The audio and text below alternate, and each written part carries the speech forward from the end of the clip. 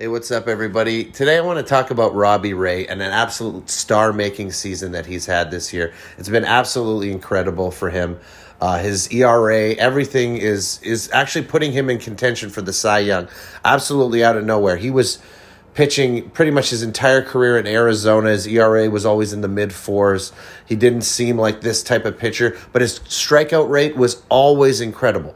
He came over to Toronto uh, during the shortened season last year. He quickly signed uh, this year for a one year deal because I guess he really enjoyed working with Pete Walker, their pitching coach, and he has been absolutely electric. I did a video earlier in the year about Kevin Gausman dominating with two specific pitches the fastball and the splitter. Well, in Robbie Ray's case, it's the fastball and the slider, and an absolutely incredible slider. You can see that pretty much all of these strikeouts are coming off of that one pitch, low and into the righties. It's very similar to the Randy Johnson or Chris Sale approach. And once again, uh, Pete Walker has had some reclamation projects over the years. Marco uh, Estrada comes to mind. J.A. Happ and the successful seasons that he had after being in Toronto. You can also look at Marcus Stroman or even Taijuan Walker, who's having one of the best seasons of his career after just a brief amount of time with Pete Walker in Toronto. And as you can see, that slider is just diabolical from Robbie Ray. The other day, he struck out 14, tying his career high.